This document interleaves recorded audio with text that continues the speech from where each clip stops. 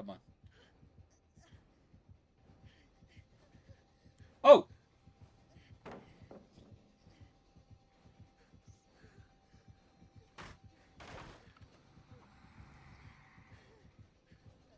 Okay, he's being friendly. That just scared the shit out of me, though.